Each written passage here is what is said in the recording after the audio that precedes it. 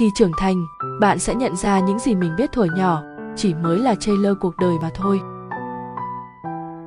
Những cuộc vui, những buổi tiệc tùng không còn là thứ khiến bạn hào hứng tột độ như hồi trước nữa.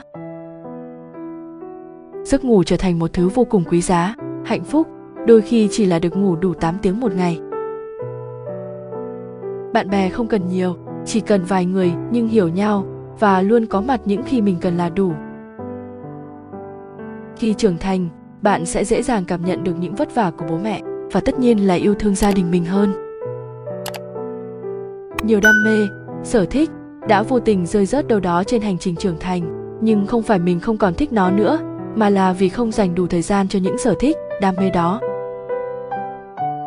Hồi trước thì nói không với cưới xin, bây giờ mở mắt dậy là muốn lập gia đình, thấy ai đẻ cũng sốt hết cả ruột. Bạn có thể rơi xuống tận đáy nhưng đó chính là dấu hiệu cho thấy bạn sắp đi lên. Nếu chịu khó chăm sóc cho sức khỏe bản thân, bạn sẽ thấy tinh thần của mình cũng sẽ tốt hơn. Ngoại trừ chuyện sinh tử, còn lại mọi thứ đều có thể giải quyết được. Tất cả những áp lực đã, đang và sẽ xuất hiện trong đời chỉ có một mục đích duy nhất, đó là giúp bạn mạnh mẽ, kiên cường và giỏi hơn mà thôi.